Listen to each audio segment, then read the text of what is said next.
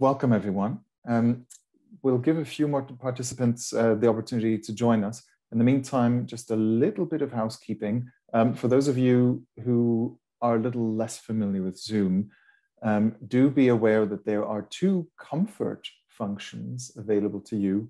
Uh, in the top right-hand corner, you should be able to have a little button that says view, and you can choose between a speaker view and a gallery view, whichever is most comfortable to you. Try them out um, and see which one you feel most comfortable with. Um, we should probably get started. I'll be reading some notes on one screen and speaking with the moderators um, and the panelists and, and all of you on this screen. So I'll be busy going back and forth. Um, I will start by introducing myself. Uh, my name is Christoph, Christoph Jankowski. I work um, at the British Council. Um, and um, I work in what is called the Global Network Team. That means uh, we connect the organization's offices outside of the UK with um, the UK um, Foreign Ministry, the FCDO, Foreign Commonwealth and Development Office, um, and I specifically look after East Asia and the Americas. Before that, I ran the Creative Europe desk um, in the UK since 2010. And before that, I worked on European projects and research um, and uh, collaborative initiatives. Um, I speak a few languages, um, grew up in Brussels, and um, quite enjoy the whole European ecosystem of arts, culture, and her heritage, which is, I think, one of the reasons I've been um, put into the position today. So, hello, everyone. Um, we are here for um, The Art of Departing. This is one of eight modules. And this module, the only English speaking module, is um, in two parts. So we have um, available to you and what has been available for the last uh, couple of weeks are uh, speed dating videos, which are on the um, website for the conference, which should probably pop up in the chat um, at some stage. Um, this speed dating format was really interesting.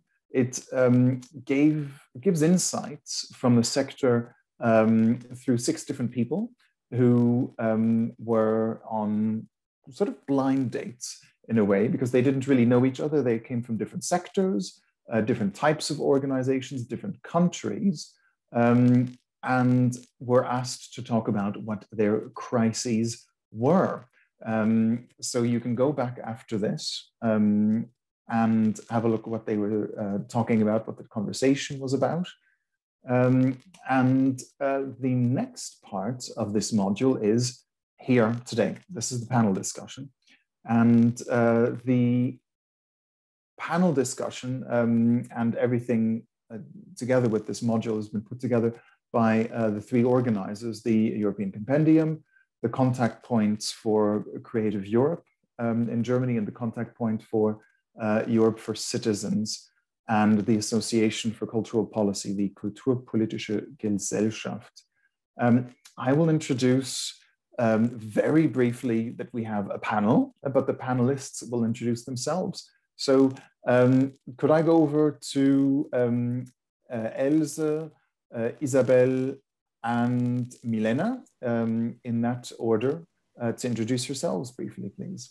Thank you, Christoph. And thank you very much for having me here. My name is uh, Else Christensen Redzepovic.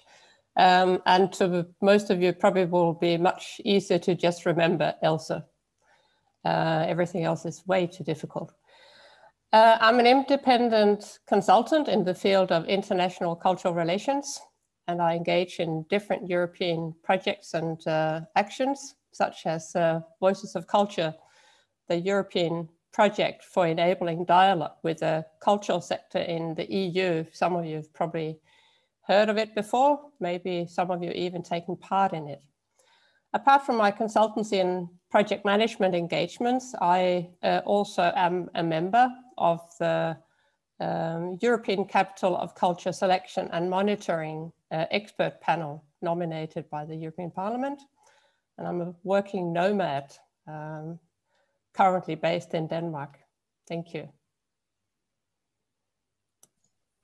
Hello, everybody. I'm Isabelle, Isabelle Schwarz, and I'm sitting now in Germany, but uh, usually I'm in Amsterdam working for the European Culture Foundation, in short ECF, where I'm responsible for its advocacy department, so head of public policy.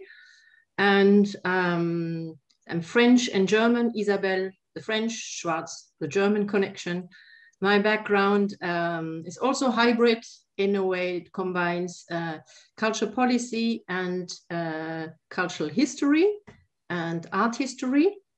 And I have been working um, within either intergovernmental organization or national organization like the Ministry of Culture in France, but also very small NGOs and European networks and two different foundations. And I find um, the foundations world probably the most adequate to me because you're pretty independent and agile compared to the big inter international institutional organizations.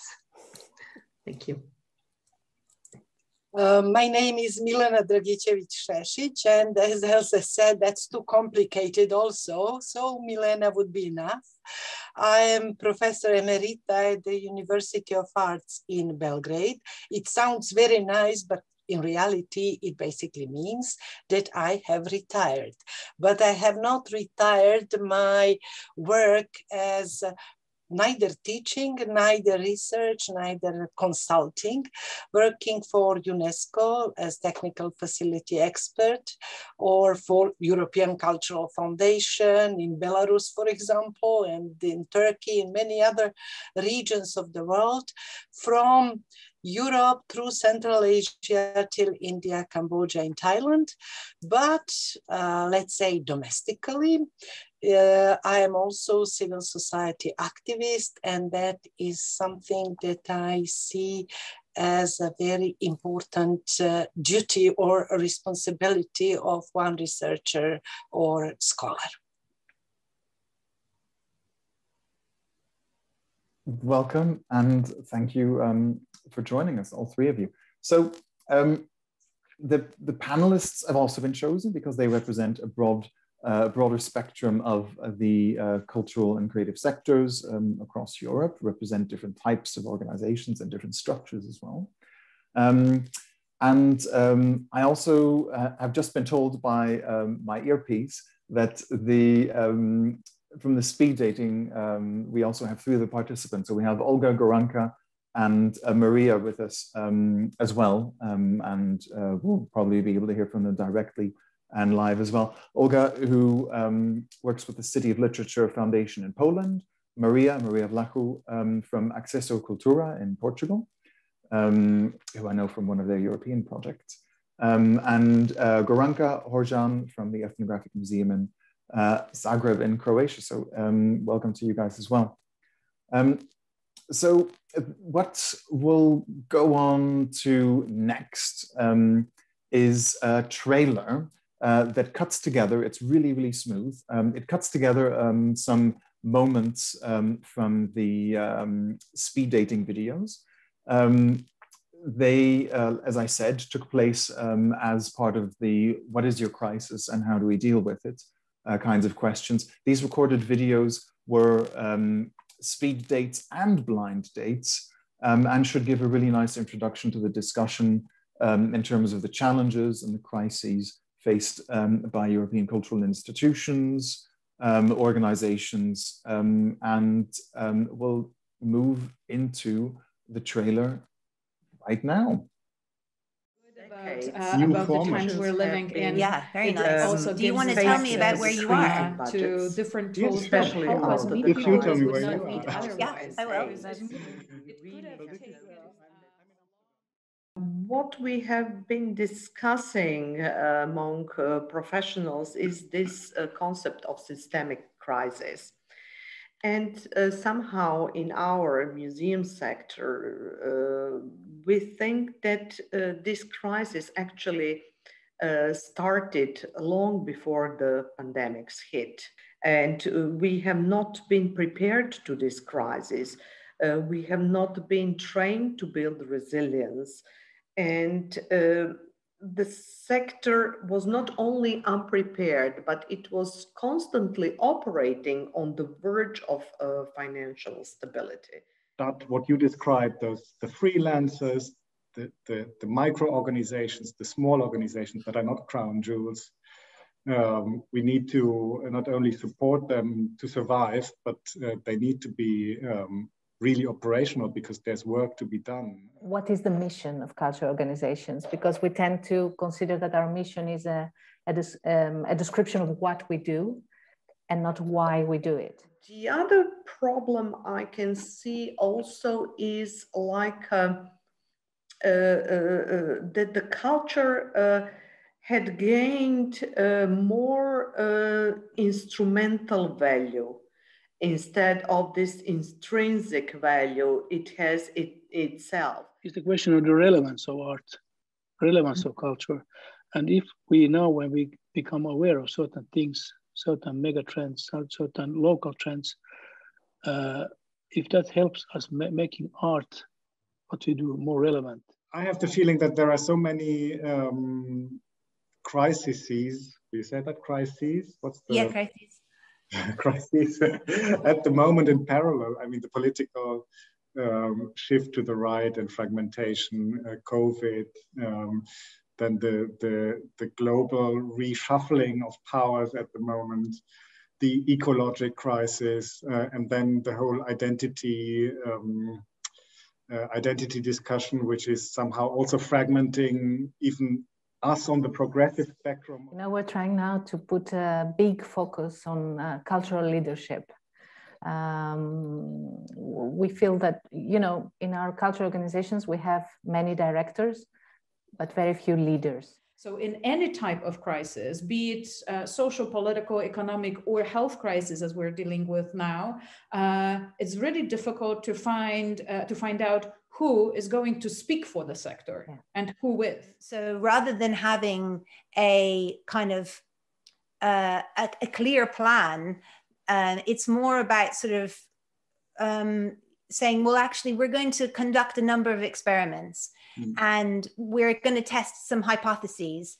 And then we're going to see what the result is of those experiments and then mm. that will inform our process going forward and that's been quite freeing in a way because um, because we're kind of succumbing to that you know that process and so there's room for risk which is so important and room for mm. failure which as we know is like critical yeah. to the creative process i like to think about uh, uh, about the future of cultural sector as it emerges like mm. uh, so I think that our uh, flexibility and adaptability that somehow defines the cultural sector. It's mm-hmm. not, mm-hmm. you know, it's not uh, written in stone. It has to, and it always has adapted to changing uh, environment.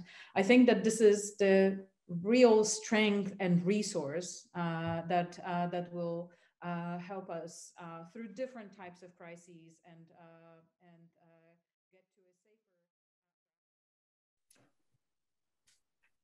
All right, there we have it. Um, so the um, the trailer in a way connects these two formats of the module. The, the speed dating video talks um, and the cut that you just saw gives the various voices from these um, different cultural institutions a chance to speak. Um, and um, it asks what is their crises. So now we're moving into um, a conversation with our panelists, asking um, what is our crisis. So we're moving from from the from the us to the we, um, and uh, asking the question um, much more broadly: How can we look at the crises and the challenge of the cultural sectors at the moment from a European perspective? What commonalities are there, and uh, what solutions um, can there be? Um, so what where we'd like to be today at the end of today's session is um, with some action points, with a little bit of a broader understanding um, of uh, where the different we's um, are coming from, um, and not necessarily only have a nice uh, set of conversations, but also some, I think, fairly clear ideas of what kind of solutions um, would be workable and that we'd like to go on um, exploring a little bit further. So I'll ask um, the panelists for a few reflections. What is it um, that you found particularly compelling when you were watching um, the speed dating videos? Um, what do you, what, what is your impression of the trailer? Do you agree with um, the types of crises? Do we have one all-encompassing crisis? Are there different ones? Um, and I'm going over to you, the panelists now for some thoughts on that. Um, would you like to go first, Isabelle? Thank you. Thank you. Um, well, I think all of the points that have been actually made in the trailer are very, very relevant, and I can really echo um, all of them, uh, both in terms of uh, representation, who, who talks, who is at the table, who is part of the conversation, um, issues of inclusivity, um, of fragmentation, polarization, and the role of culture of it. And I think something important in this context, two things I, I would maybe highlight is uh, one that indeed what the crisis has done has brought to the light fragilities, vulnerabilities that were there for a long time. And um, so far, we all have kind of muddled through the process and thought, well, somehow we're going to solve it. It, it. it, will work that way. Also, because um, it might be a bit provocative, but if we look at the last um, the last decades, these have been kind of the fat years uh, in terms of cultural provision, and uh, not in all countries in in Europe, but um, some of the Western European countries, for example, I mean, in terms of uh, support, uh, investment, and so forth in culture, um, I think we have been, in some case, pretty privileged compared to other countries in other in other regions of the world.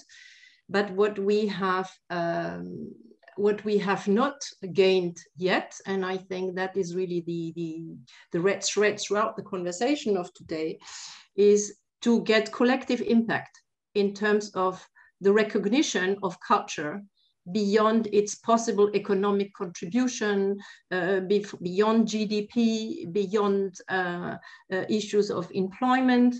Uh, you, what, what I witness, for example, is that you know when Ernst and Young publishes a report with data on the recovery for culture and creative industries, it is being looked at and politicians picked it up. Uh, why do we, as the culture sector, uh, you know, having been engaged so long in advocacy in other, uh, in, and, and, and, and, and uh, nationally, locally, and also on, on European level, we don't have that yet strong, unified, impactful voice. Um, so I would say what COVID has COVID-19 has done is has sort of deepened, I think, the the political, the economic, the social, and the, the cultural vulnerabilities um, of Europe, and that the beliefs that we had previously, beliefs that you know that the market will solve all challenges, uh, that is totally obsolete. And um, and it also has become evident that it's it's impossible to revert to the old normal because the old normal was actually part of the problem. And the pandemic i think that is also what comes out in these uh, in this uh, in the trailer is that um, these vulnerability are now really tangible to everyone. And they are experienced by massively increased number of uh, creatives and individuals across the world um, so what is what I see as an opportunity in the in the crisis is that it's actually it it it forces us to change fundamentally course. It's a wake up call, and it also offers, I would say, agency uh, for change. And then regarding the question of um, do we see it only as, as one crisis or several crises, I think we have now several interconnected crises and that, that they are all entangled with each other. And that makes the situation so complex. Um, and because of this interconnectedness, also the solutions, they, con they can only become reality by connecting through uh, with others outside of the culture sector. So um, looking beyond our own bubble and indeed we come, we will probably come to this, and I also see this in the trailer, is how do, are we able to uh, leave all practices behind, be inspired also by other uh, sectors and other uh, policy areas practices. And also how do we make our own practices valuable to others? Um, that's what I would probably say now. Maybe one more last thing is about the um, the notion of a poly crisis. also. You know, we have actually been um, challenged by all kinds of crises, one after the other. I mean, from the financial crisis, uh, the migration crisis, the poly, the uh, migration crisis, um, uh, populism, and now the pandemic. And I think what is also comes out in the trailer is that uh, while we are managing the pandemic and while we are managing to survive in that pandemic, we also have to reinvent how to build the future. And I think that's very, very hard. It's really difficult to get these two um, uh, these these two very important acts um, um, together. Yeah, that's what I would say. I think from the beginning. Thank you, Isabelle. Um, some really good uh, thoughts to get us started with. Um, could I come to you, um, Milena, next? Um, I'm sorry, I should have given you a little bit more warning to tell you uh, which, which order. Um, what, what would you like to leave behind, Milena?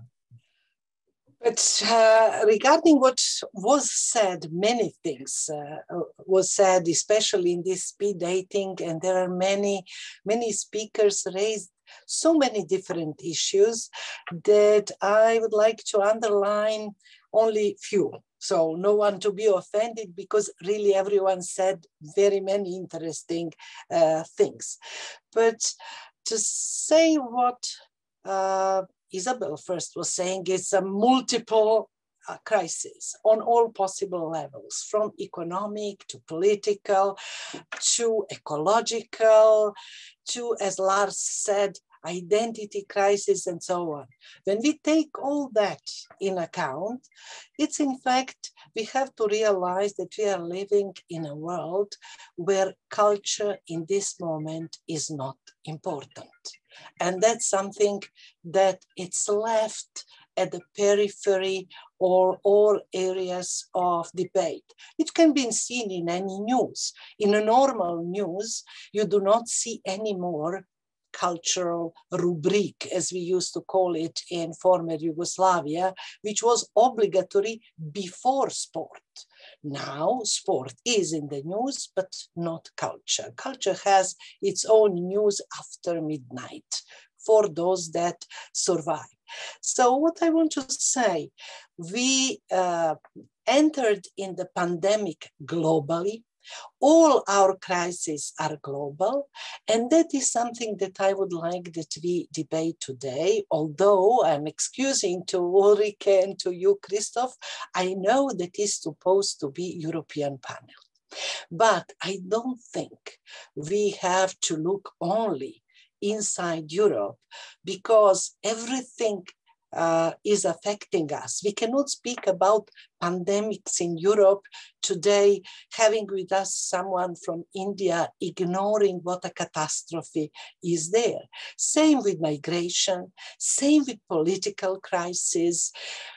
It's on our edges. Coming from semi-periphery of Europe, uh, I'm very semi-periphery of the world, maybe, and so on.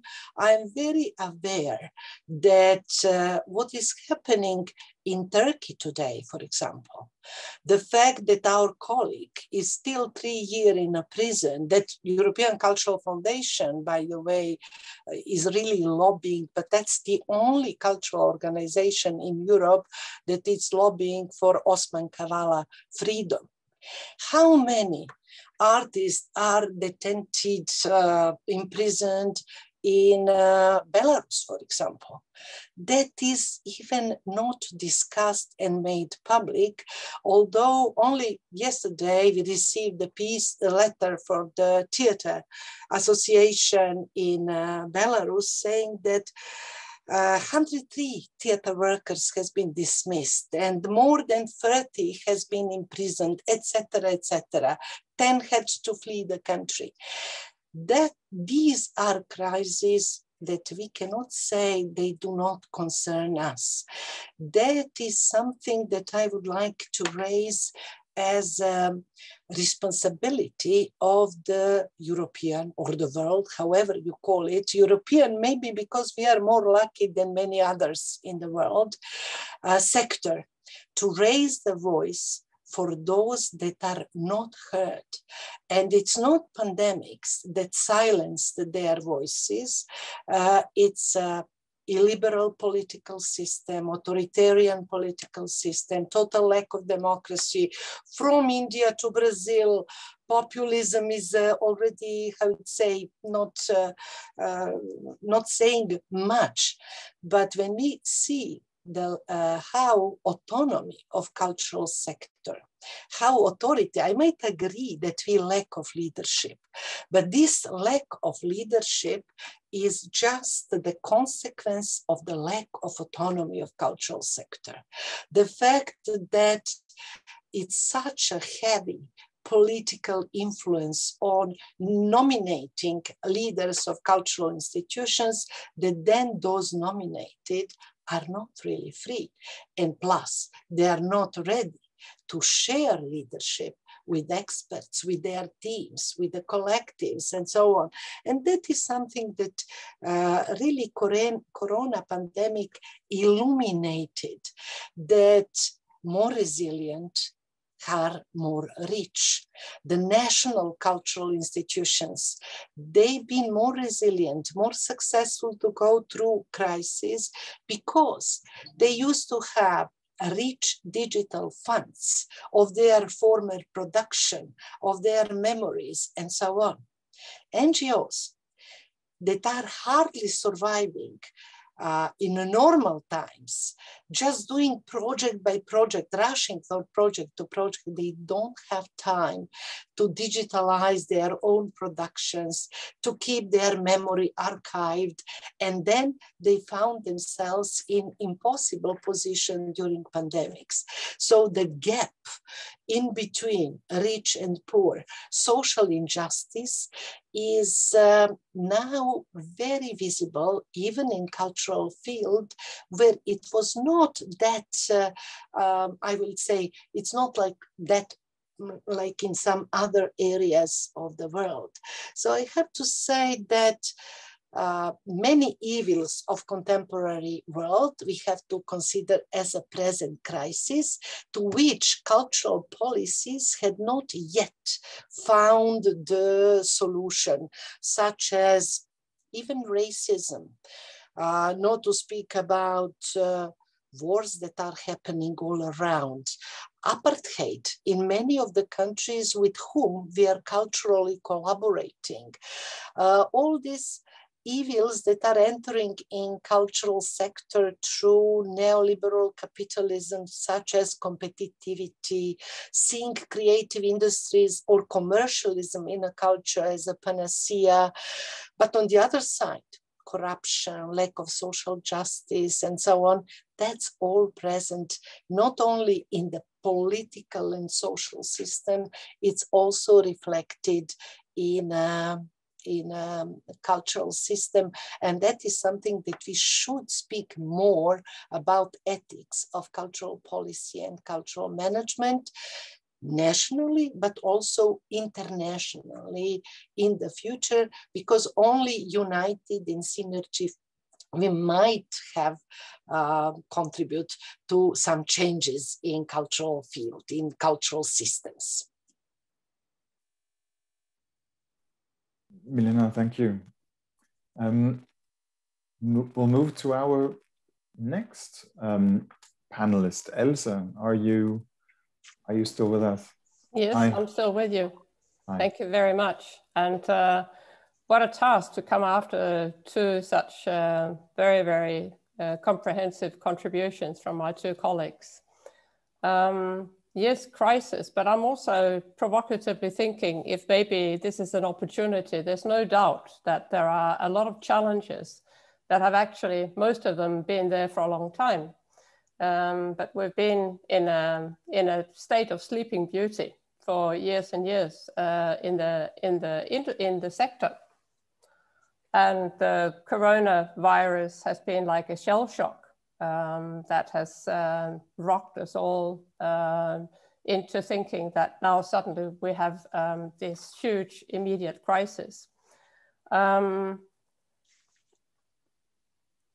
I have a lot of respect for, um, for what's just been said, um, and it's all true. And it's also all very true what the um, people in the speed dating have been saying. Um, but there is, um, there is also a, um, a problem of trying to find a one size fits all. this sector is so uh, diverse. It's so fragmented. We're talking about so many different things. Um, and I don't really see how it's going to be possible to, um, to come to a solution.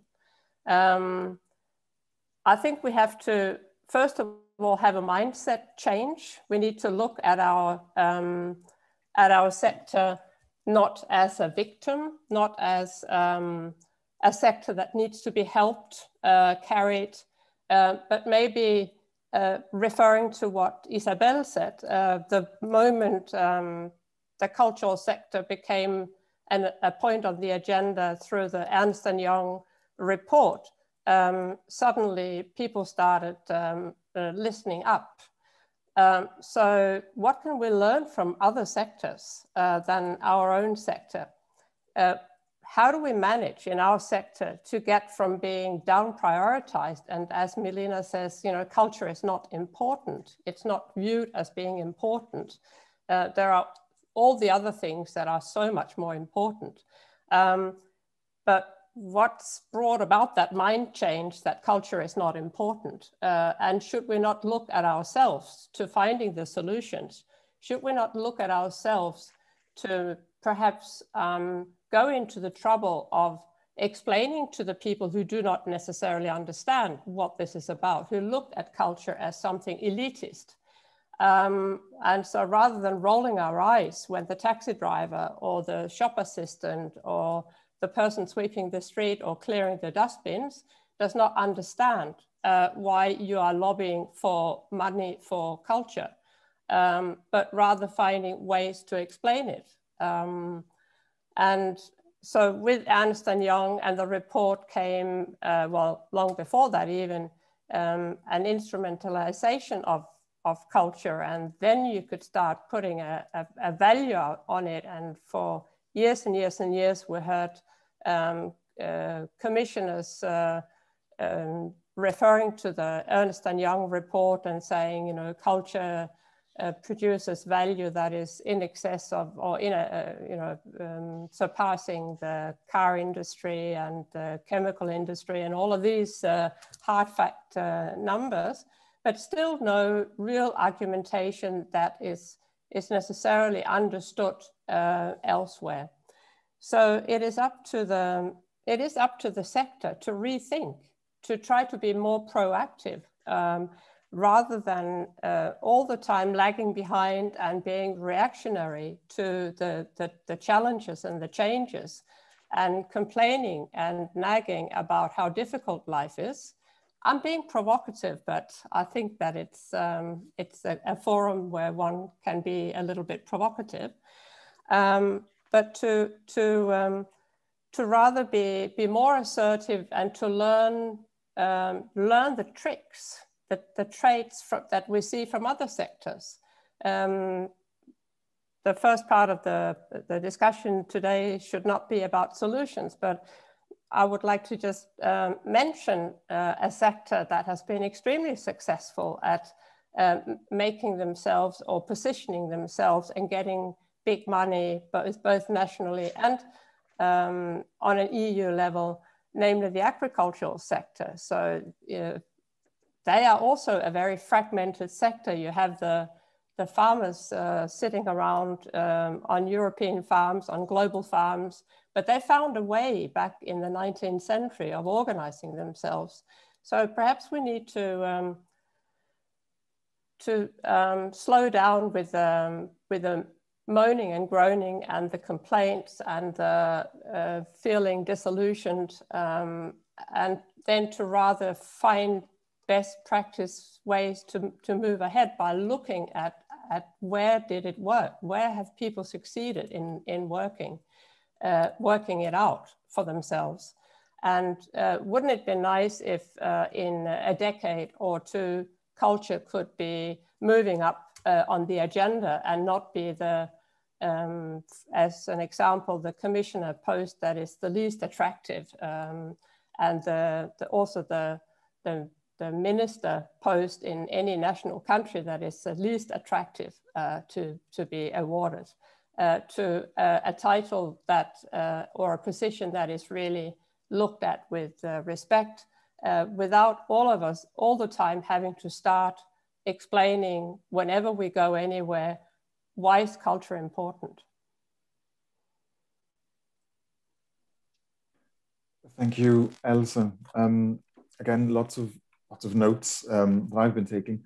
I'll also um, go to all of our participants. Please um, use the chat function. Um, if you have any questions, any comments, please add them uh, into the chat function and um, we'll pick those up uh, a little bit later in the next part where we'll be bringing you a little bit more in. But if you have any comments or questions that, that can't wait, please put them into the chat or write them down and we'll bring you in uh, a little bit later.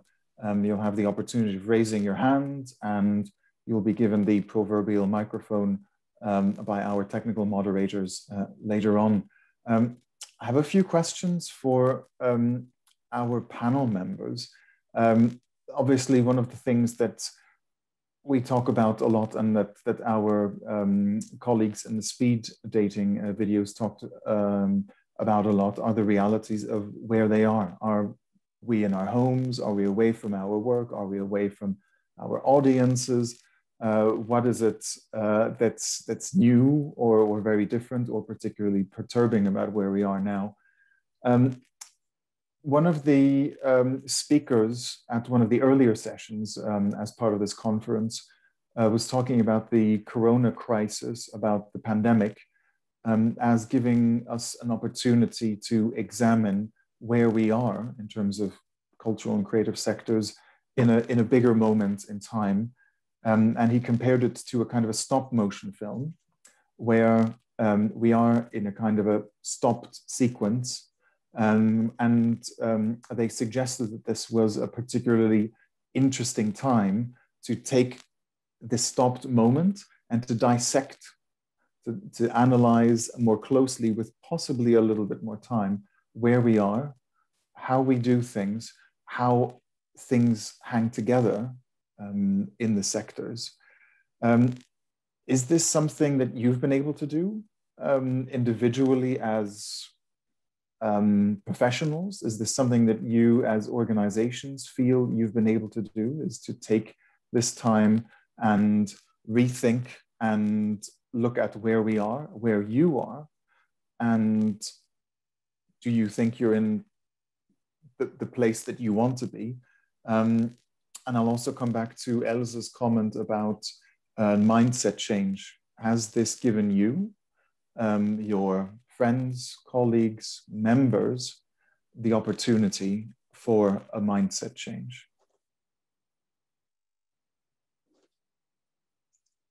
I'm not going to pick on anyone in particular this time. I can start immediately Please because universities they haven't had time to stop to think. They had even uh, a task to go very quickly and to continue to readapt and so on. So there was no possibility. But very often that was the case in cultural sector for different reasons. Uh, for small NGOs and so on, it was also not a moment to stop because when they stop, there is no resources, there is no possibility to survive. So we saw a huge engagement of cultural organizations with the start of the pandemic.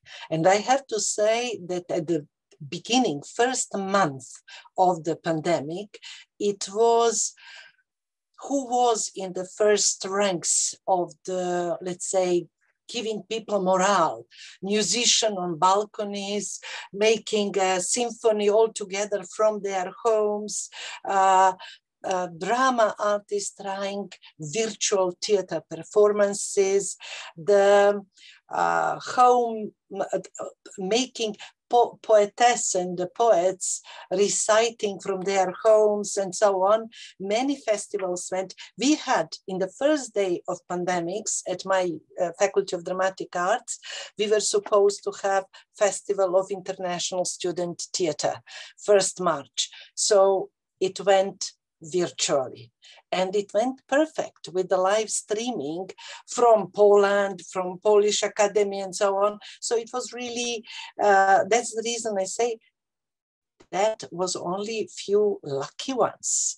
Maybe big public cultural institutions, they got a luxury to have a possibility to really deeply rethink their existence. Although I'm not sure in the case of the Balkans that they really did it, but because they also wanting to prove their usefulness. And when Goranka said that instrumentalization of culture, yes, pandemics was even underlying the need for instrumentalization of culture. Everyone expected culture to give support for the people that were, especially during lockdown and so on. So uh, I would think that it would be after pandemics that the cultural sector should have some kind of sabbatical year to rethink because they are really producing. I can tell you, for example, Belgrade Drama Theatre was never that productive as in this last season, including regional production. Probably it doesn't seem, when I say regional, it means with actors and actresses from Slovenia, Milena Župančić, for example, is playing, Macedonian theater director and so on. They did maximum they could. Yugoslav Drama Theater also.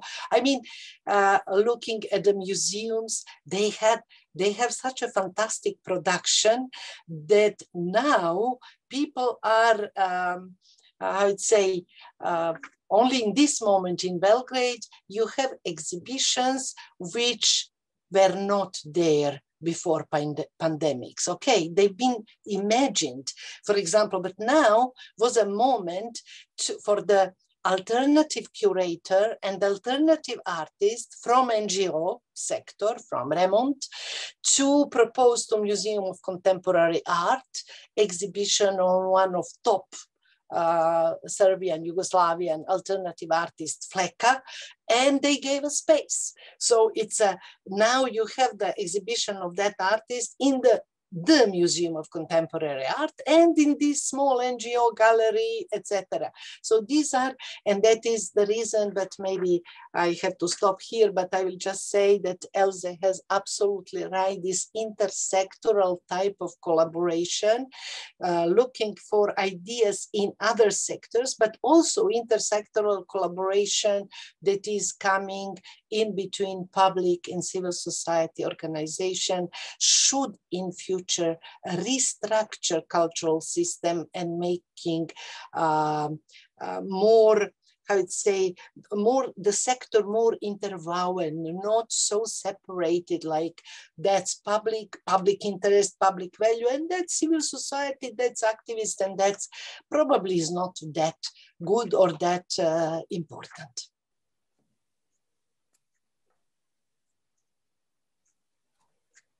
Thank you, Else. Go ahead. I saw a hand come up.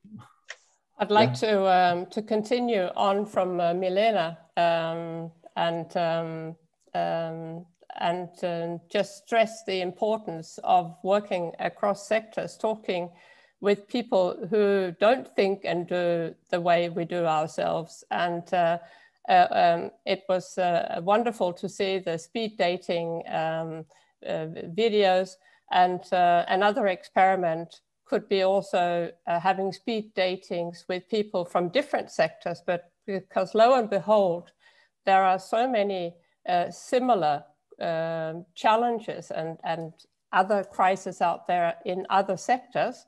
And, um, and for sure, uh, there could be a lot of cross-fertilization by talking to a farmer, by talking to other sectors about the challenges that we have ourselves, but we tend to stay within our, our bubbles, and that's, uh, that's where we do our thinking. Um, on a personal level, it's been a relief um, uh, and a curse uh, to um, not be traveling, you know, 230 days in a year that I've uh, done many other years. Uh, and having to sit in front of my computer every day. Um, but it actually also has meant that I have reflected on the fact that we don't seem to um, to um, learn from the crisis. Um, that's very provocative to say, but but it's as if we've just made our lives super busy by uh, logging on and taking part in this uh, conversation, the other, the third. We are everywhere all day long. Uh, we find ourselves uh, spending you know, 40, 60 hours in front of our uh, computer screens uh, every day, um, basically shifting, moving thoughts around. Um, we're not meeting, we're not getting the creative input from outside that uh, blasts us outside of our bubbles into new paths uh, of uh, thinking. And uh, as I see in the, in the chat from Goranka, um, um, the, the, we need to be aware very correctly, uh, uh, Goranka, as you're writing, that uh, a crisis um, um, will change attitudes, um, values, our focus uh, has changed. And uh, it's not um, just a, a, a, bracket, this corona crisis between the before and, uh, and the future, but it's, it's, it's different. it, well, it's maybe not necessarily that it is completely different now. It's just that the future has come a lot faster or maybe a lot clearer um, to us. And, and we are paddling behind. Um, and um, I really would like to see that, especially in this sector, that the artists and the creative minds uh, would uh, be standing up and being proactively uh, redesigning the future and not just waiting for the future to happen and then going uh, uh, running after it like running after a bus uh, wondering um, so then what do we do now that they have decided to, to, to do this and that? But no we did we designed the future um, ourselves. Um, and then again i need to get back to um, to these very serious um, issues that um, Milena also il illuminated in her introduction about the, the people who are prevented um, to express themselves um, and, uh, and racial discrimination, things that uh, are not, um, as another um, person also mentioned, that you know, what are we talking about when we talk about culture? Um, you know, is, is culture also um, dealing with these very serious uh, challenges? Um, so yeah, I'm I'm a little um, confused in uh, in basically taking the discussions uh, to be all all over the place, and this is I think where our biggest challenges are. Thanks, thanks, Else. Um, I suppose when I when I was asking about um, how people uh, and how colleagues have been taking the time, um, it it sounds absolutely brilliant, Milena, when you're talking about some who have never been as busy. I it sounded like that was a good kind of busy, in terms of in an innovating time type of busy, uh, moving conversations forward and collaborating type of busy, or has it been a kind of busy that's been more frantic and and maybe difficult and quite stressful. Um, I'm, I also know from, from sort of experience a little bit closer to where I live, there have been um, in the UK also quite a few individual sort of freelancers or artists who have seen their work dry up completely. Um, they have been out of work. They have not been able to perform in theaters. They have not been able to work uh, in galleries. Um, hundreds, if not thousands, of people who do front of house work um, in museums, in uh, world-class institutions who would normally visit, thousands of visitors a day, are out of work and have been out of work for um, a long, long time and not always terribly well looked after. Um, there was a very ill-fated campaign by the UK government a while ago, uh, encouraging people to retrain and to rethink their careers. And um, some of you might have seen that one of the images that they used um, was an image of a of a dancer, um, a very sort of classical type of dancer, and it said something like. Um, she's looking or she needs a new career she just doesn't know it yet i'm i'm i'm being provocative here and it's not quite what it was but it was quite a difficult um, thing to see for many um, people in the arts and cultural sectors in terms of where where they are where they would like to be and where they feel their their, their place is um, we were talking while we were preparing this panel about how the corona crisis might be a kind of a burning glass that might be um, might it, it's a very visual um, sense that I'll try to explain a little bit. I suppose it's about concentrating um, the number of crises that, that we've been facing and that you've all uh, named quite well, ones that we're not on our own. And if we talk about the arts, the cultural sector in terms of um, migration crisis, in terms of ecological crisis. Um,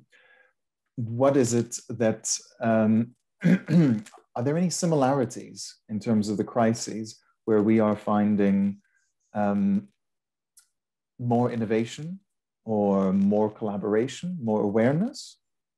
Is there anything that, that, that we're learning um, from this stack and stacking of crises? Isabelle? Yeah, like I, I, I also think that the want to highlight the point that Milena raised at the beginning about the international dimension. I think that is absolutely vital.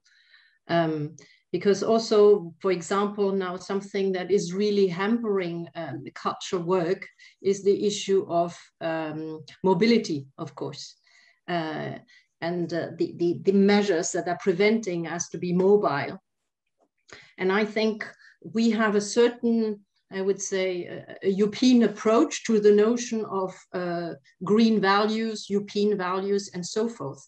But they, this is a kind of a new neo-colonial way of looking a way of how to do your cultural practice and you know what is your priority and what is your what are the resources for engaging actually with uh, with others while some other parts of the world uh, have a very different understanding and a different approach to uh, mobility. And for example, would not necessarily only think about carbon footprint, uh, carbon uh, emission reductions, but there are many different other issues uh, at hand. So I think this is important to keep this in, in the conversation. But um, I also wanted to, um, to look at the crisis in, the, in sort of a wider uh, cultural context than the cultural sector itself.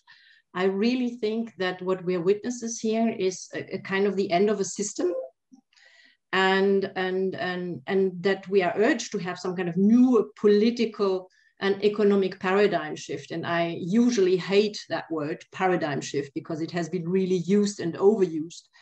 But this is really, I think, in that context today, really the most appropriate um, term um, and that the, the kind of liberal paradigm uh, that Milena was alluding to earlier, um, that has worked for some time, but is now fading away, but that this new paradigm and that kind of new narrative and the new strategies for that more substantial cultural change uh, is not there yet. So we see several elements of this. I mean, there's a lot of uh, research, for example, for example, done on um, uh, on the commons and the culture as, as a common and commoning practices and bottom-up approaches to cultural production, cultural dissemination, and so forth. But I think we don't have the full picture. We, we still have this uh, puzzle that doesn't um, fit yet and uh, or is not giving the total picture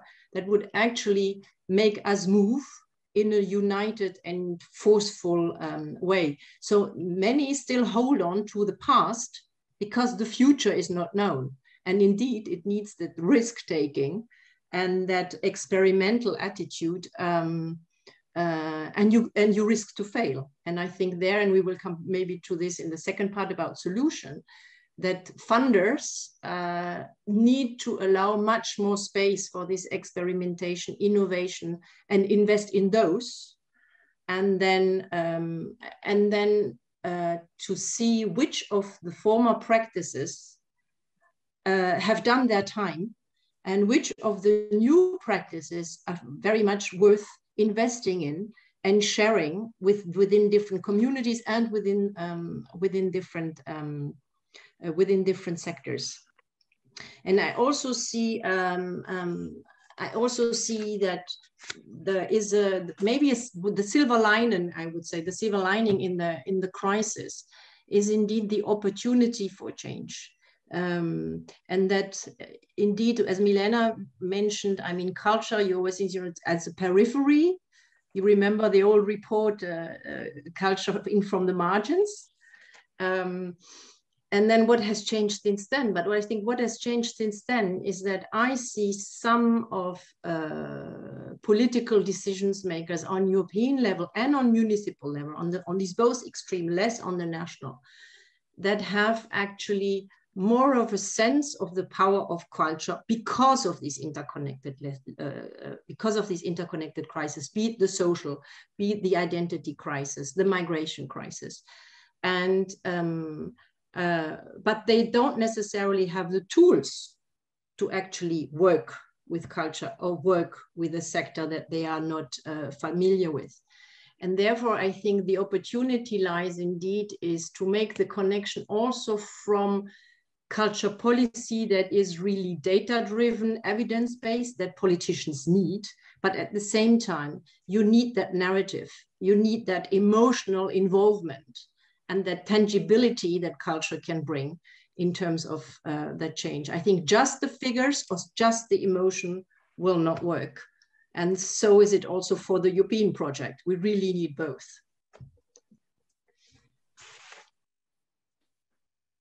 Um, Else, thank you. Um, you're making it very easy for me by putting your real hands up. Thank you very much to all. Um, we'll, we'll, we'll stick to that. Um, I'll just say, and it's, it's in the chat already, we'll be um, entertaining some thoughts from some of the panelists just a little bit longer, and then we'll be um, opening up the floor a little bit further. Please go ahead, Else. Yeah, it's just a very small uh, addition to what uh, Isabelle very uh, rightly said about um, uh, a lot of the understanding of the value of, of, culture being known at municipal level. And here I'd just like to, to mention the many, many cities around uh, Europe who have been over the years candidating to, uh, to try to win the title of European Capital of Culture.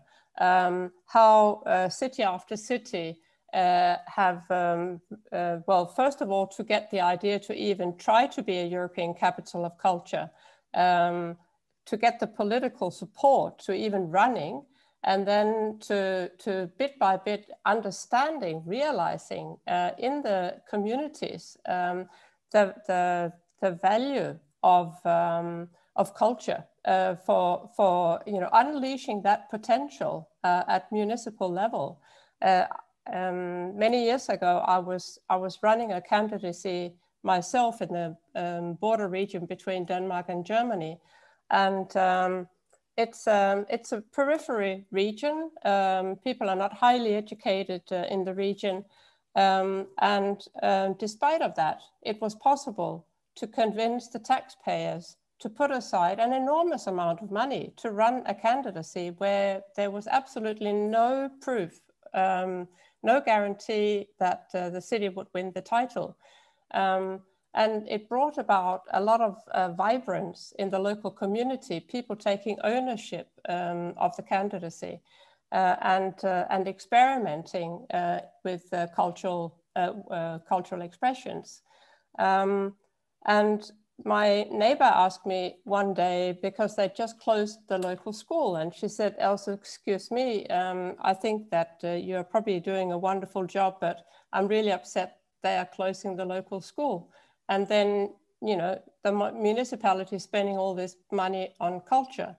Um, and i was in a very easy way able to explain to her that if uh, the city doesn't or the municipality doesn't unleash this potential that culture is it's not just the school that will close then the the whole town will close because people will then keep uh, depopulating the area um, and it'll be um, end up as as a retirement place only, uh, if even that.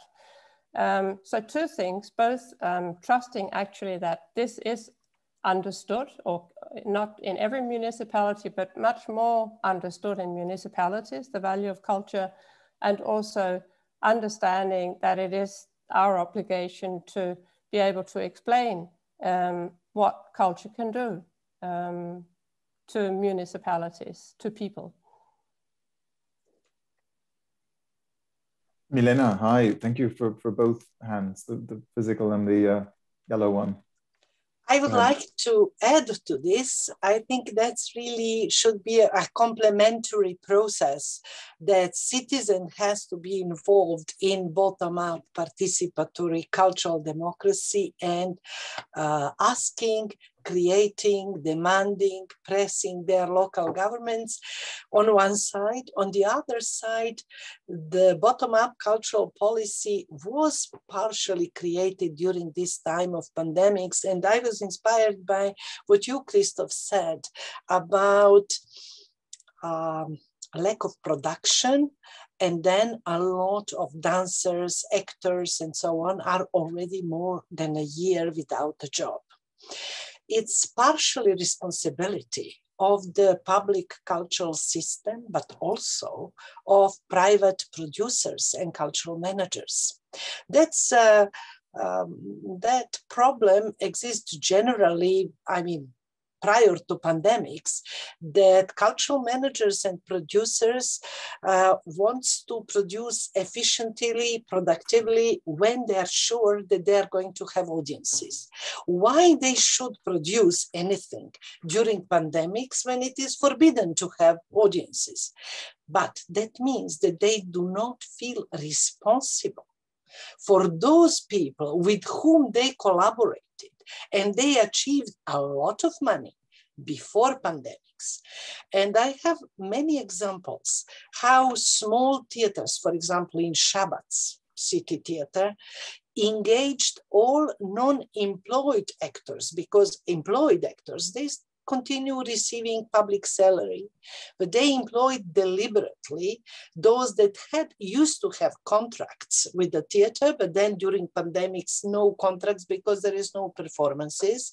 So the director created even a project for a storytelling fairy tales that they could shoot from their own homes, paid them decently for the work they did. They created something. So it was not like collecting solidarity fund, which also our Association of Drama Artists did. And all of us members of the association employed in public sector having our regular salaries not diminished, we contributed to this solidarity fund for those that are not employed and are living on a, on a periodic contract. So this, but this is humiliating for one person to stay just on charity, as it is humiliating to hear public uh, advice, um, learn something else, be, be something else, learn to cook. There is still a lot of need for catering, start producing catering and uh, deliver people uh, food at home and so on.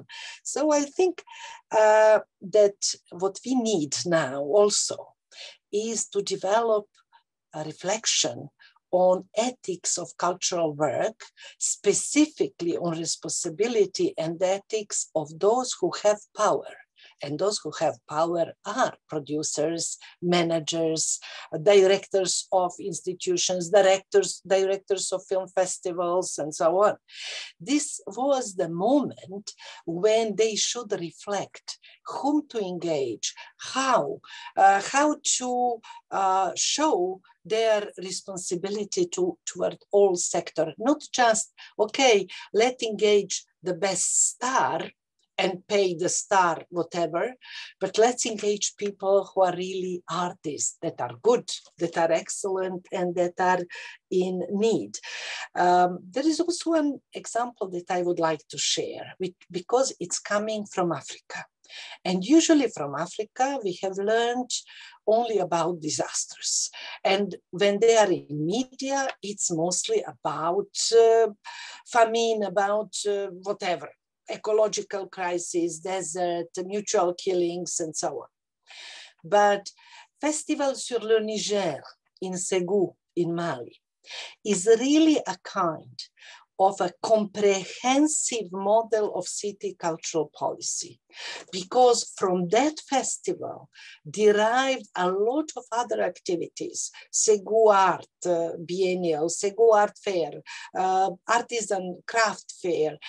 I, I can, uh, how would say, cultural center local because there is no public houses of culture. So they created uh, centre culturel, etc., etc. I could speak a lot. I don't uh, want to take my time, but that is the reason why I think we have to go beyond Europe, because real examples of uh, solidarity, activism, and social responsibility, because this cultural entrepreneurialism in Africa is based on something they called Maaya value, or it's in other region of Africa, it's not known as Ubuntu and so on. But that is that you don't do anything if you don't have agreement of a context, and if it is not for your context, it's not for the market, it's for the community, and that's the huge difference. Milena, you've uh, totally pushed us over the edge, the, the good kind of edge. We're deeply in our next part where we're talking um, about the solutions and what we're going to do and how we do it. Um, I'd like to get back to what you were talking about um, in terms of the ethics um, of our work, or the ethics of how we work. Um, one of the questions we had um, as part of the whole session today was, what is it that we need to transform? What kind of changes need to take place? And also what do we want to give up? What do we have to give up? Um, what are we saying goodbye to? Um, you were talking about, we were all talking about sort of transferring a good practice, uh, sharing these good kinds of way, ways forward um, and learning from each other. Um, let's imagine that, that it's up to us, only up to us. Um, let's imagine that it's up to us as employers, as connectors, um, what are our responsibilities? Um, what have we taken our responsibilities? Have we done the best that we could? And how could we do it even better? This is also opening it up to um, all of the um, participants today. Um, imagine it was up to us. Um, maybe a few uh, words from you, Isabelle and Else, and then we'll throw it open to some of the participants. Thank you very much. I, I, wanted to talk in the solution for the cultural deal, but I will I will put this just in the chat and then focus on, on, on something else and then people can look at it if they want, because that is all about uh, change and taking responsibility across sectors for a positive change and the recognition of culture in the in the broader um, global context. But maybe what I want to say um, now about this is um, that there is a lot of knowledge and a lot of experience indeed um, also in the sector, in our sector, and that we shape a community of practice that is extremely resourceful and, and, and, and can be very inspirational, but, and that was also mentioned in the trailer, is also extremely fragmented and it's not well organized. Um, so the uh, it, it's not a vis-a-vis -vis with a powerful voice like, for example, the agriculture sector, on the environmental sector that we refer to. Of course, this has also um, Um, um, there's also um, cultural dimension to, to this. Um, but I think when we talk about what we need to leave uh, behind and change, I think it's also the notion of competition, because so far we have been very much trained on, you know, if you compete, uh, you know, you, you have to compete, you have to be stronger, you have to, you know, to make the best business case. But actually, what I mentioned earlier about the paradigm shift, it's really like how to move from the um, mantra of competition to cooperation and partnership also within the sector very much and across sector and across sector and across communities and in this what we should uh, do better this is um, that advocacy part. Um, maybe we have to use some more sort of guerrilla tactics. You know we do it quite nicely and bravely and it has been working in some things. I mean it's like mea culpa too. This is also my, my own business. But you know we go through through um, political channels that we infiltrate and we provide the knowledge and uh, we engage with the politicians and and i think we have uh, pretty fruitful conversations in some cases but if we want that really radical change that now more and more people across the world want we cannot just do it nicely and neatly, I think. Maybe we also need in parallel not to give up, but we also need this kind of much more, yeah, uh, guerrilla-wise, um, strong messaging, strong actions, because as I said, change will also only happen if we really engage people emotionally. And emotionally, this will not be just by drafting manifestos and writing open letters. This is also needed, but I don't think it's the um, it's the only way. So um, that would be my plea. And then when I mean across sectors, also um, in the solutions, um, I really think that philanthropy is part of uh, that call for partnership and that any of the solutions cannot be um, cannot be successful if it's only government it cannot be just by civil society. It cannot be just by philanthropy. But now in that change, it's really like how we bring these different actors together and not only complement each other, but strategize together and then decide on responsibilities that we all advocate together. In this case, the philanthropic sector, the private sector in some case, and the civic sector. I think there is still some room for improvement. Thanks, Christoph. Thank you, Isabelle, Else. Yeah, I will before uh, we, continue before we open up. I'll continue on from uh, from there, um, Isabelle, um, about um, um, the necessity for cooperation rather than uh, than competing. There's uh, there's also a lot of jealousy in in the sector, um, and uh, and uh, it, it's not taking us anywhere good. Um, I just listened in to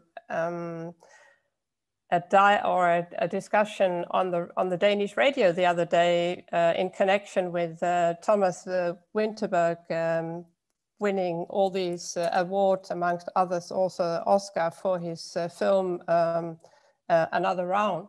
And the Danish film industry in general um, experiencing a lot of success in, in these days. And so the question was, how come? And uh, he was uh, exactly underlining uh, what you said, Isabelle, that uh, he thought that one of the strengths um, that the Danish film industry is experiencing is that uh, um, that the competition is is not the way that they see it is in other countries, but more that you get together around a table, you you know, uh, well, very fittingly have another round. and uh, and just uh, and just have a conversation from from all perspectives, uh, calling in even competitors to um, to see if jointly you can come up with a better solution.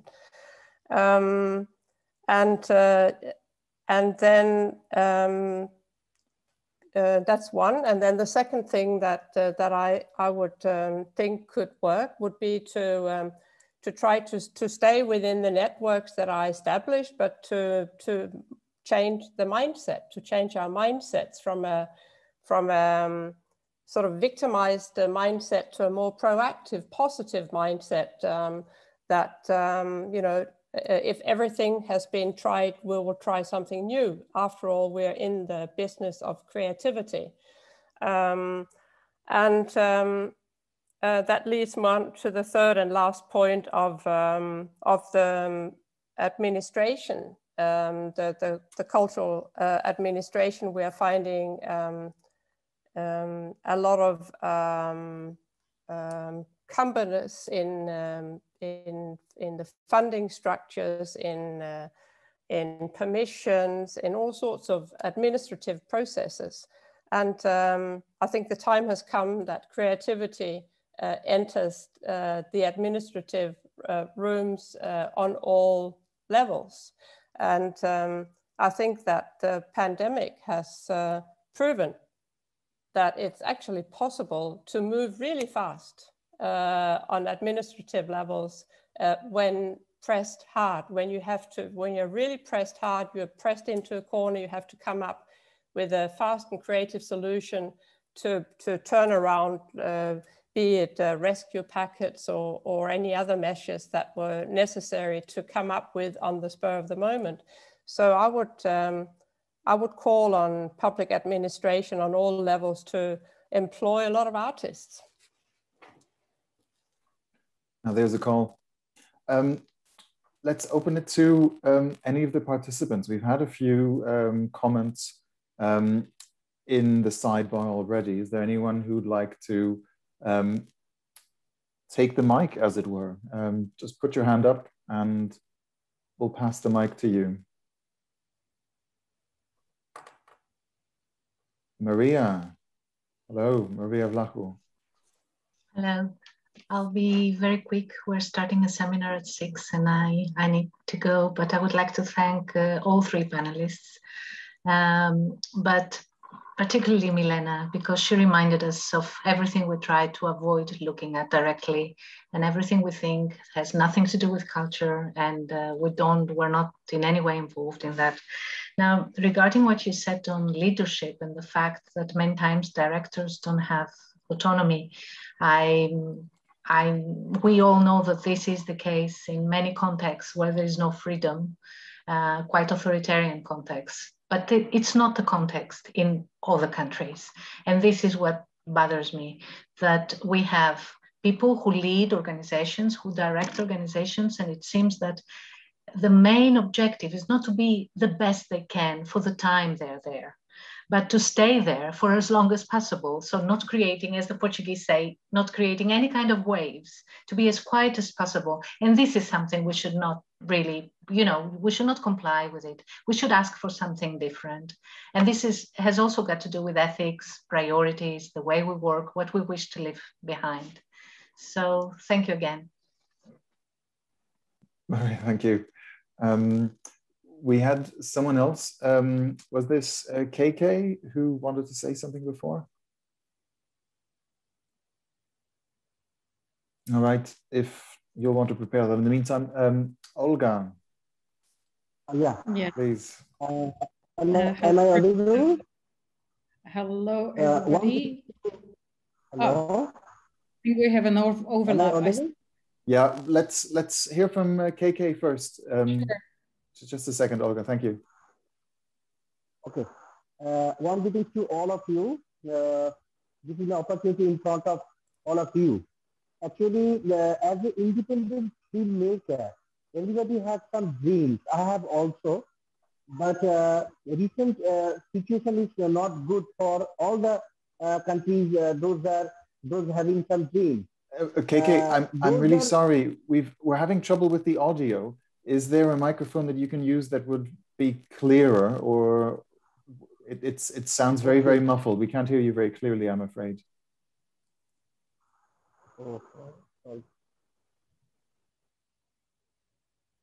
Maybe if you take the um, your computer's microphone, maybe try that.